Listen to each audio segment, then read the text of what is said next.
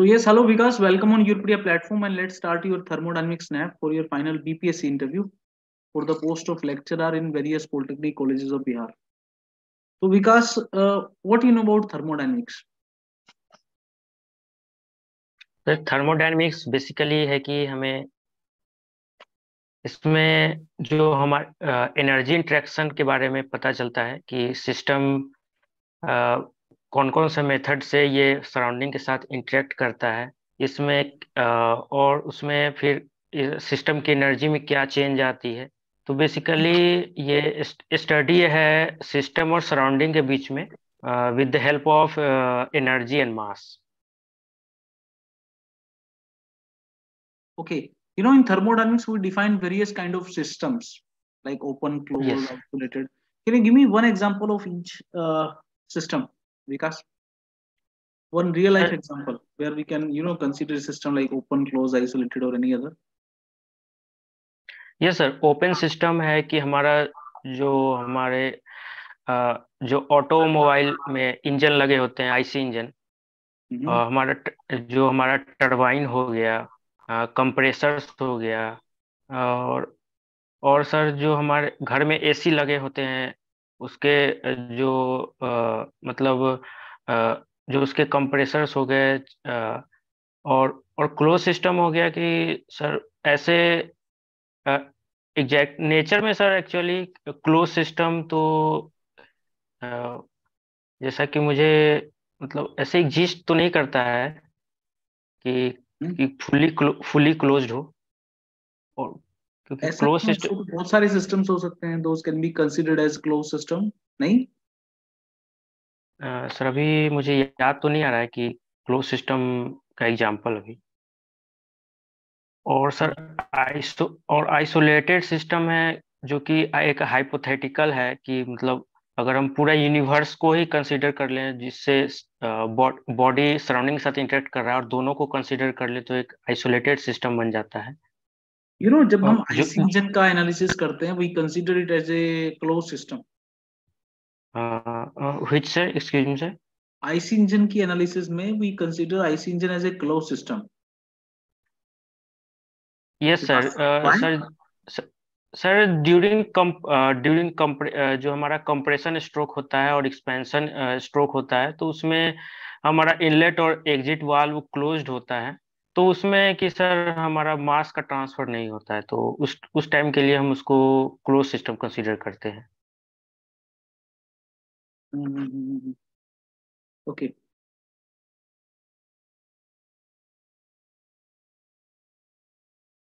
तो Vikas can you tell me something about conservation of energy and how we can write the conservation of energy for a close system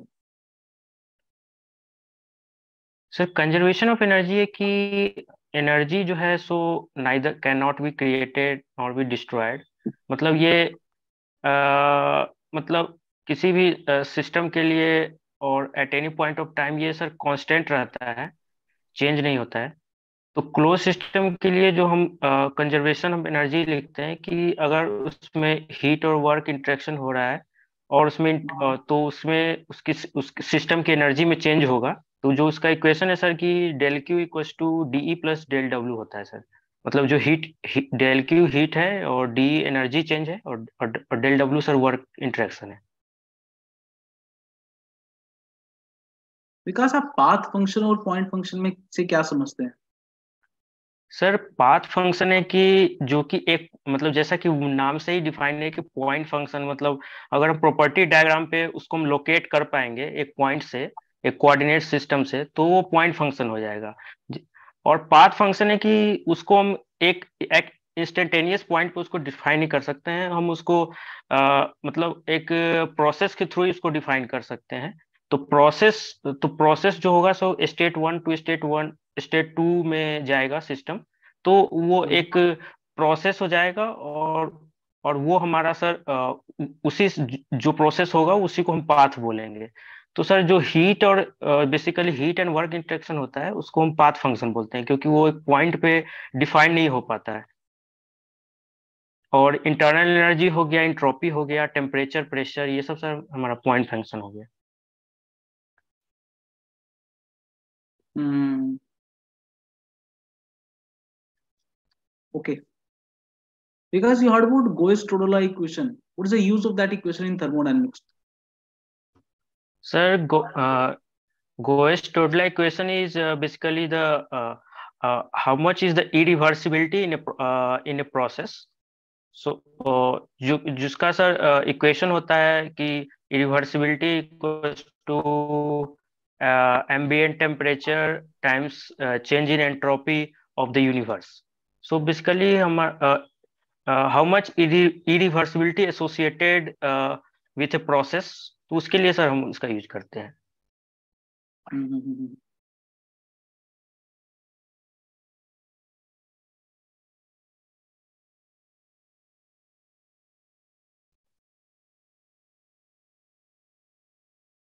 Okay. Vikas what is the significance of PV diagram why would draw PV and TS diagram for various thermodynamic cycles sir the significance of PV diagram यह है कि कि हमारा जो area under PV diagram अगर हम calculate करें तो अगर हमारा area under PV diagram with volume axis calculate करते हैं तो वो हमें वर्क डन मिलता है फॉर ए क्लोज सिस्टम अगर हम वही area with pressure axis calculate करते हैं तो हमें ओपन सिस्टम के लिए वर्क मिलता है।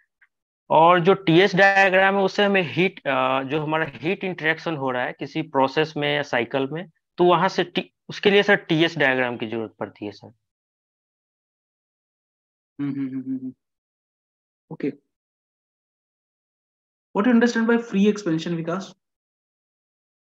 sir free expansion जैसा कि वर्ड से पता चल रहा है कि उसको कोई such expansion which goes without any restriction मतलब वो फ्रीली मतलब अगर गैस गैस अगर एक्सपेंड uh, हो रहा है अगेंस्ट uh, वैक्यूम तो उसको सर हम फ्री एक्सपेंशन बोल देते हैं।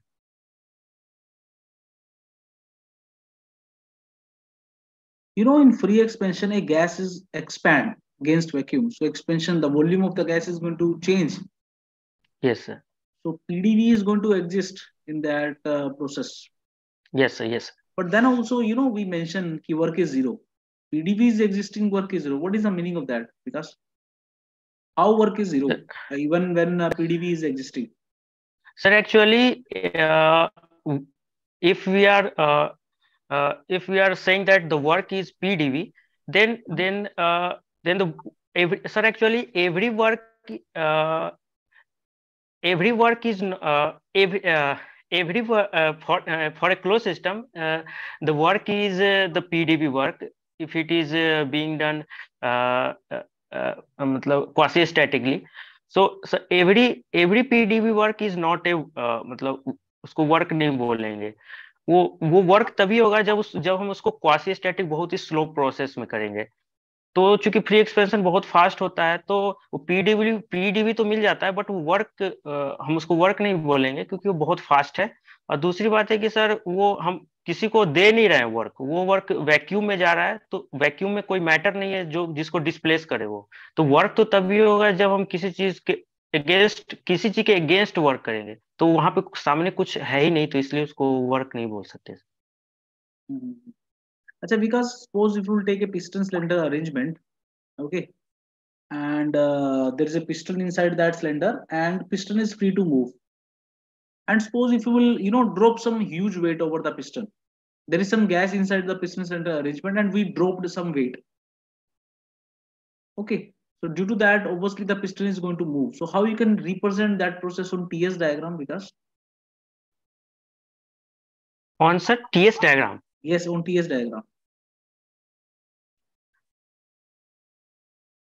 Sir, uh, actually, sir, uh, uh, if uh, sir uh, the uh, the system is insulated or or can it interact heat? Mm-hmm. Go with all suitable assumption, Vikas. Okay, sir. So, sir, uh, is so should I draw the TS diagram or just uh, tell? Yes, sir? yes, just draw that for that process where we are taking a piston cylinder arrangement. Piston is free to move, and uh, you know Okay, sir. we dropped some weight over the piston. So for that process, I asked you to draw the process diagram on TS, di TS diagram. Represent the process on TS diagram. Okay. Mm -hmm.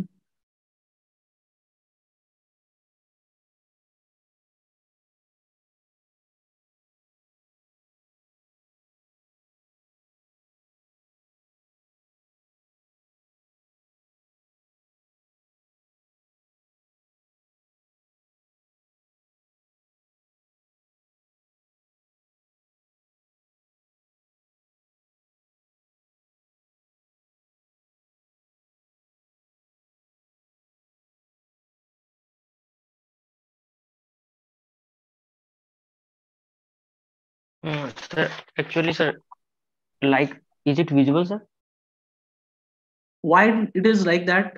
Uh, because because sir, uh, because sir it is because हम उसको wait को drop कर रहे हैं तो sir ये uh, अचानक से हो रहा है सडन हो रहा है तो ये क्वासी स्टेटिक नहीं है प्रोसेस मतलब स्लो नहीं है तो सर हमारा जो वर्क हम जो हमारा जो पोटेंशियल एनर्जी कारण जो वर्क होगा वो तो हीट में कन्वर्ट हो जाएगा ये मतलब सॉरी जो मॉलिक्यूल्स मतलब जो सिस्टम के इंटरनल एनर्जी हाँ सर इंटरनल इंटरनल एनर्जी में कन्वर्ट हो जाएगा जिससे सिस्टम का सर टेम्परेचर राइज होगा। और और सर और सर मतलब ड्यू टू मतलब जो उसका why जो uh, increase in entropy? Fine. Increase in temperature is fine. Why you are taking increase in entropy? Increase in entropy sir uh, actually due to due to sir gas का uh, जो randomness बढ़ जाएगा due to increase in temperature sir और sir due to उसमें कुछ uh, मतलब irreversibility uh, भी sir uh, हो जाएगा उसमें।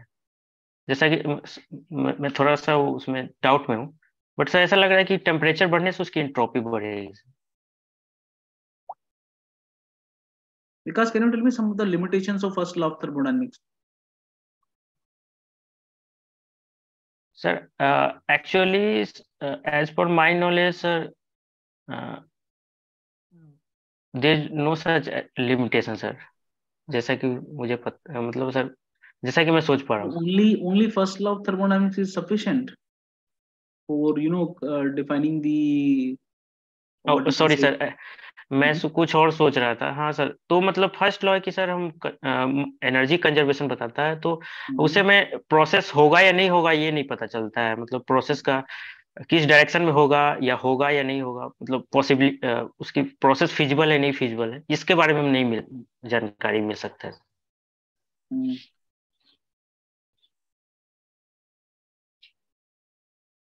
अच्छा Vikas can you tell me the difference between ideal and real gases sir ideal gas जो है जिसमें अगर हम टेम्परेचर बहुत ज़्यादा हाई कर दे और उसका हम, और और उसका टेम्परेचर बहुत ज़्यादा हाई कर दे और प्रेशर बहुत कम रखे तो जो गैस है वो आइडियल गैस की तरह बिहेव करता है। मतलब आइडियल गैस है कि उसमें जो गैस के मॉलिक्यूल्स है, वो, उन वो काफ़ी, उनके बीच में मॉलिक्यूलर इंटरेक्शन बहुत ही कम है। और उनकी पोटेंशियल एनर्जी बहुत ही कम हो जाती है बहुत कम है। तो ये सर ये सर डिफरेंस है सर। और रियल गैस है कि सर जो मतलब मॉलिक्यूल्स काफ़ी पास पास हैं और जो उनका मॉलिक्यूलर डायमेंशन है वो हम क्लोज टू सर जो जिस कंटेनर में रखा हुआ है उसके आ, उसके बराबर सर उसको एज्यूम करते हैं रियल गैस के लिए। या या उसके बराबर होता है सर। हम्म, चलो just give me second okay Vikas शुरू करते हैं ओके okay. Hmm. तो what main difference you highlighted between ideal and real gases sir ideal gas है बेसिकली कि मतलब एक हाइपोथेटिकल कॉन्सेप्ट है जिसमें मॉलिक्यूल्स काफ़ी दूर दूर होते हैं और और जो गैस का जो गैस का वॉल्यूम है वो हम कंटेनर के वॉल्यूम के बराबर रख देते हैं और जो प्रेशर होता है वो आ, मतलब वो ड्यू टू मतलब due to wall due to pressure exerted on the wall of the container और और जस्ट अपोजिट रियल गैस में कि सर जो उनका जो उनका वॉल्यूम जो वॉल्यूम है वो कंटेनर के वॉल्यूम के प्रोपोर्शनल या कह सकते हैं इक्वल होता है तो उसमें नेग्लेक्ट नहीं करते हैं। तो उस तो सर रियल गैस में सर मोलिकुलर इंटरेक्शन ज़्यादा होता है उसमें अगर हम किसी गैस को हाई टेम्परेचर और लो और और वेरी लो प्रेशर पे रखेंगे तो सर हम वो हम आइडियल गैस की तरह उसको इमेजिन कर सकते हैं। What is compressibility factor vikas? sir compressibility factor uh, actually sir it's uh, मतलब सॉरी सर मैं कंप्रेसिबिलिटी और कंप्रेसिबल फैक्ट हाँ सॉरी सर मुझे सम थोड़ा समझ में आया। सर जो कंप्रेसिबिलिटी फैक्टर है, जो होता है, वो वो हमारा पी भी जो फैक्टर होता है पी जो एक्सप्रेशन है उसका Z equals to compressibility factor equals to P V upon sir R T होता है। तो अगर कंप्रेसिबिलिटी फैक्टर वन है तो उसको वो आइडियल गैस का इक्वेशन हो जाता है sir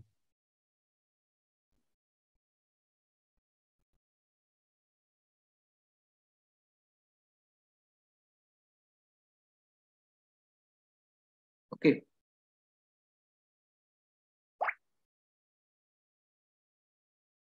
Hmm.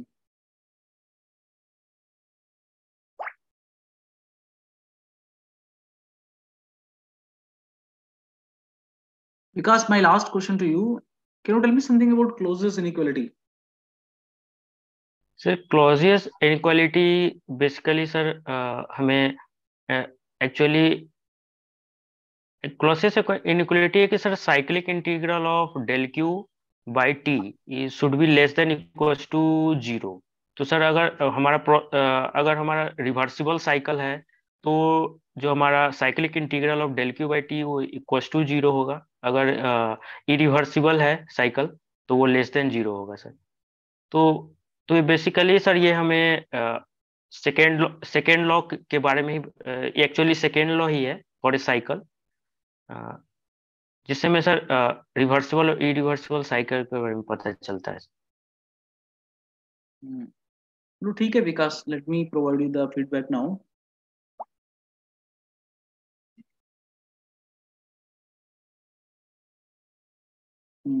ठीक है। तो विकास, ठीक है, आप टेक्निकल क्वेश्चन तो आप ठीक आंसर कर पा रहे हो अभी। मेरे ख्याल से एक दो question only you missed you know when I asked you to relate to give me some example of open close and isolated system why you mention कि sir I can not give examples for close system what's the problem with that what is the definition of a close system where mass is not going to be exchanged uh, between system and surrounding no mass transfer between system and surrounding so yes there are so many systems like piston cylinder arrangement without walls or you are having a kind of rigid container a football closed bottle, all closed container. Those are like closed system. So if mass transfer is not there between system and surrounding, only heat and work transfer is possible. That system is known as closed system. So you need to think because you need to apply your mind. Yes, sir. उस time sir याद याद याद नहीं आ रहा था you know free convection में PDV work जो है ना वो पीडीवी वर्क क्या किसके लिए वर्क रिप्रेजेंट करता है PDV represents work for closed system reversible process. Yes. Free expansion is not a reversible process. Free expansion is highly irreversible. Okay. Yes, sir. Yes. That's why PDV does not represent work for free expansion. Free, work is zero because gas is expanding in this vacuum. अच्छा limitation yes. में थोड़ा आप पहले बोला कि क्या कोई limitation नहीं लिमिटेशन तो बहुत सारी है ना एक तो हम क्वालिटी ऑफ़ एनर्जी का कंसेप्ट जो है कि जो एक प्रोसेस है, किस डायरेक्शन में पॉसिबल है process all real process are possible in the direction of degradation of energy degradation of work potential so we are going to lose the quality of energy in all real processes entropy of the units is going to increase in a particular process all real processes तो limitations हैं बहुत सारी. Quality of energy की जो बात करता है second of thermodynamics is tells us about the quality of energy First law only talks about the conservation of energy. Total energy is conserved. It does not segregate between heat and work. According to first law of thermodynamics, both are same. But its second law yes. of thermodynamics, which tells us the heat is a low grade energy and work is a high grid energy because the available energy of heat is much lesser as compared to the available energy of work yes चलो बाकी आप ठीक answer कर रहे थे ठीक है आपका डिलीवरी स्टाइल अभी कंफर्टेबल लग रहा है विकास कॉन्फिडेंट लग रहे हो ठीक तरीके से आप समझ रहे हो आंसर कर पा रहे हो बट जब कोई क्वेश्चन आपको ना आए थोड़ा सा उसको सोचना है और बहुत हड़बड़ी में जल्दी आंसर मत करो। Okay okay? okay, पहले सोचो if you can recall it's good मेरे ख्याल से टेक्निकल अंडरस्टैंडिंग आपका डेवलप अच्छा हुआ है विकास। सब्जेक्ट आपने पढ़ा है और कंफर्टेबल भी लग रहे हो आप कॉन्फिडेंट लग रहे हो बट थोड़ा सा इसको और देख लो आप। ठीक है sir okay Okay, because good luck. Good luck and best luck for your final interview. Thank you, sir.